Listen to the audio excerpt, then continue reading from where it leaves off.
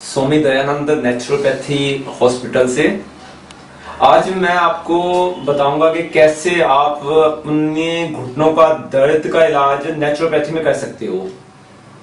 देखो नेचुरोपैथी में हर बीमारी का इलाज है, चाहे वो सिंपल है, चाहे क्रोनिक है, क्योंकि नेचुरोपैथी नेचुरल वे से ट्रीट करती है, इसमें कोई भी मेडिसिन नहीं लिया जाता।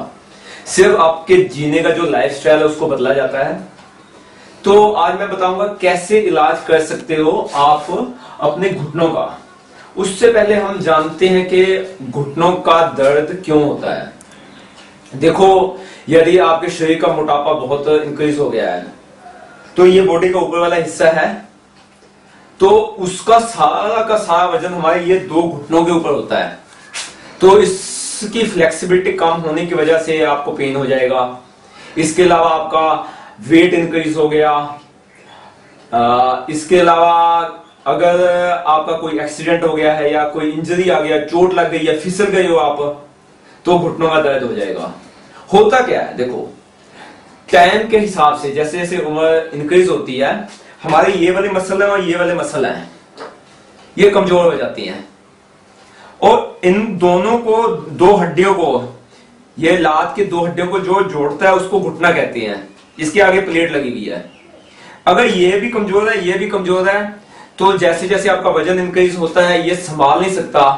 तो आप जैसे चलते हो, भागते हो, कोई चीज़ उठाते हो तो आपको महसूस होता है कि इसमें पेन है, दर्द महसूस होता है। तो जैसे ये पेन आया, वैसे हम इसको ठीक कर सकते हैं। उसके लिए आपको कुछ चीज़ें फॉलो करनी होगी। तो आइए हम सीखते हैं strong intention of following naturopathy देखो एलोपैथी में या घुटनों के दर्द का अभी तक कोई इलाज नहीं निकला। ज़्यादा से ज़्यादा आपको पेन किलर दे सकते हैं आपको पेन को कम कर, करने के लिए इंजेक्शन दे सकते हैं। बट क्या इसका रूट से उसका कोई भी फिक्स्ड इलाज नहीं है? तो क्या आपने पक्का इरादा कर लिया? अगर मैं आपको 30 दिन का टाइम देता हूँ 30 डेज़ तो फ़र्स्ट स्टेप तो यही होगा कि आपका पक्का इरादा होना चाहिए। अगर आप सोचते हो कि मैं पेन किलर की गोली खा के ठीक कर सकता हूँ तो सॉरी आप यह वीडियो मत देखिए। क्योंकि इसमें ऐसा कुछ भी नहीं है, आपको कोई भी गोली नहीं खानी। पहली पॉइंट हमेशा रखना है कि हाँ मुझे ट्रस्ट है, मुझे विश्वास है कि नेचुरोपैथी से ही इलाज हो जाएगा। कुदरती इलाज से ही इस बीमारी का इलाज हो सकता है। तो जैसे ही आपने पक्का इरादा कर लिया तो मैं अगले स्टेप में चलना लग जाता हूँ। ये पाँच स्टेप दिए हुए हैं। तो पहला जो मैंने फार्मूला बनाया है zero to twenty kilometre walking plan इस फार्मूले के अनुसार आपने ज़ीरो किलोमीटर से लेकर बीस किलोमीटर तक पैदल चलना है। देखो, जब हम पैदल चलते हैं ना तो उसका सबसे बेनिफिट क्या होता है? आपका जो वेट इंक्रीज हो रहा है, जो हार्मोन्स का जो वज़न बढ़ाते हैं, उसके ऊपर आप कंट्रोल नहीं है तो वज़न इंक्रीज हो रहा है। कहीं तो आप किसी जमाने में साठ किलो के थे और आज कहीं जाके आप सौ किलो प्लस हो गए हो। तो चलने से वेट आपका कंट्रोल हो गया, हो जाएगा। धीरे धीरे एक, दो, पाँच, दस, पंद्रह, बीस किलो तक कम होगा। तो वेट कम होगा। इस घुटने के ऊपर जो प्रेशर था, वज़न था, वो कम हो जाएगा। मान लो कि आप वज़न उठा सकते हो 20 किलो का, आप में समर्थ है 20 किलो का, और आपके ऊपर रख दिया मैंने 100 किलो का तो ये इस हाथ में भी पेन होने लग जाएगा क्यों उठा नहीं सकते। ऐसे ये घुटने हैं, ये शरीर का वज़न उठाते हैं, ये उठा नहीं सकते तो पेन तो होगा ही होगा। मान लो मेरी समर्था है 50 किलो वज़न उठाने का, और मैंने हिम्मत करके 100 किलो उठा लिया तो मेरे इस शोल्डर में पेन होगा। तो आपने चलना है। दूसरा बेनिफिट जो वॉकिंग का zero to twenty kilometre formula है, इसका दूसरा बेनिफिट ये है कि जैसे जैसे आप पैदल चलोगे ना, धीरे धीरे चलते रहोगे, उससे क्या है, ये वाली मसल मज़बूत होंगी, ये वाली मसल मज़बूत होंगी। तो इसके ऊपर प्रेशर कम रहेगा, जब ये दोनों मज़बूत हो जाएँगी, ये वाली मज़बूत हो जाएगी और ये वाली मज़बूत हो जाएगी। तो यह वज़न उठा सकेंगी। तो ज़्यादा से ज़्यादा आपने पैदल चलना है मुझे पता है कि आपका एक्सीडेंट हो गया, आपकी इंजरी हो गई आपका वेट ज़्यादा है, आपको ऑलरेडी पेन है। बट फिर भी आपने चलना है। ज़ीरो से स्टार्ट कीजिए। ज़ीरो से पहले पाँच किलोमीटर तक, पाँच से दस दस से बीस बीस तक आपने आना ही आना है। क्योंकि आपने पक्का इरादा कर लिया है कि चलने से यह बीमारी ठीक हो जाएगी। सुबह नौ बजे का टाइम शाम को छह बजे तक का टाइम सब काम ऑफ़ सिर्फ़ चलना है। चलते जाना है, चलते जाना है, चलते जाना है, खाता है, खाना है, पीना है, नाचना है, चलना जाना है, क्योंकि चलना ही ज़िंदगी है। तो इस बीमारी का इलाज, जो बेस्ट इलाज है, वो चलना ही है। ज़ीरो से स्टार्ट कीजिए। आप एक किलोमीटर तक चल सकते हो। एक दिन, दो तीन दिन, चार दिन, सात दिन चलिए। उसके बाद दो किलोमीटर पे आइए। दो से तीन तीन से चार चार से पाँच पाँच से छह छह से सात सात से आठ आठ से नौ नौ से दस। उसके बाद हिम्मत कीजिए जिस दिन आप 20 किलोमीटर नॉन स्टॉप चलेंगे, चल जाओगे, मुझे उम्मीद है उस दिन आपको घुटनों का दर्द नहीं रहेगा। क्योंकि आपके मसल इतनी मज़बूत हो जाएँगी। मुझे बिल्कुल पेन नहीं है, क्योंकि मैं नॉन स्टॉप 26 किलोमीटर तक पैदल चल सकता हूँ। मैंने चला है 26 किलोमीटर पैदल।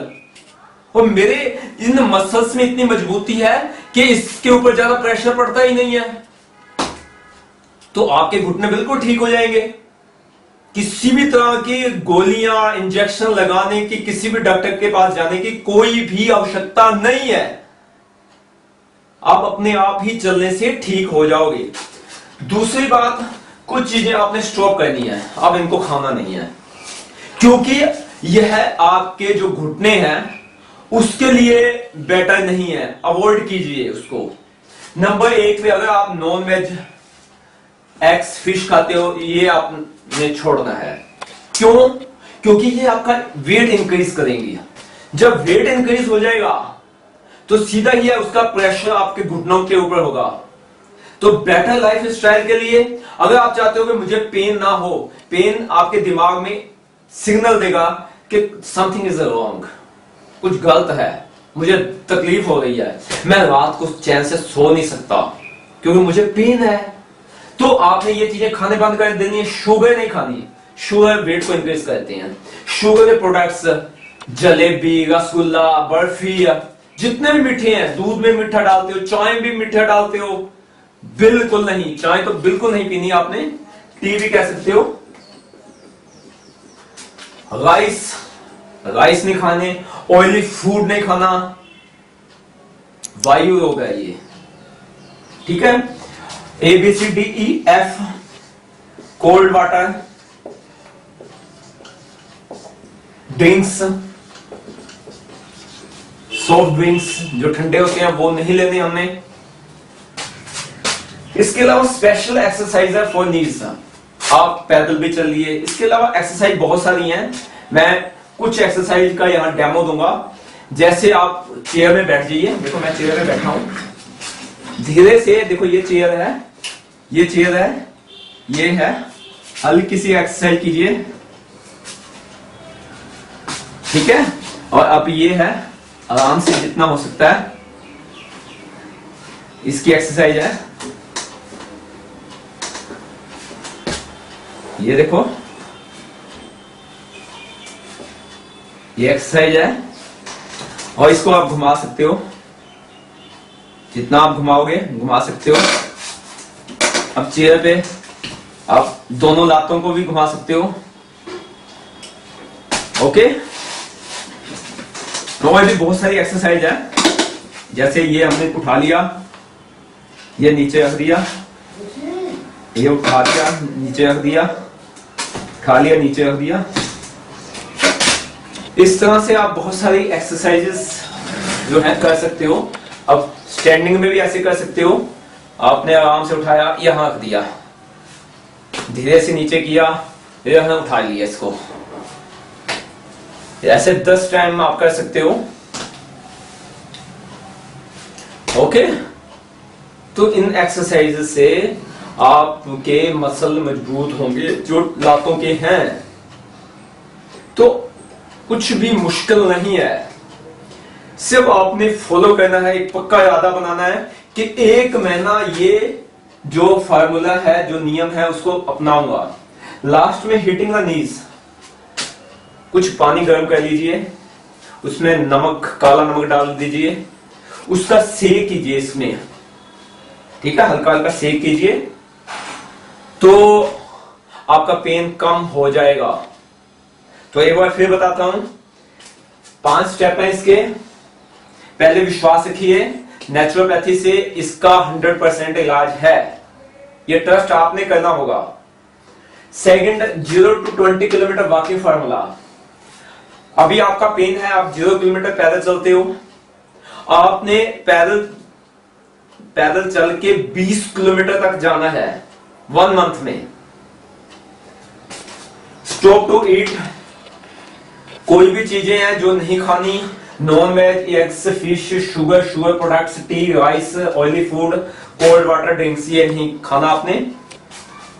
एक्सरसाइज स्पेशल फॉर नीज जो मैंने एक्सरसाइज बताई हैं, इससे ज़्यादा भी बहुत सारी एक्सरसाइज हैं।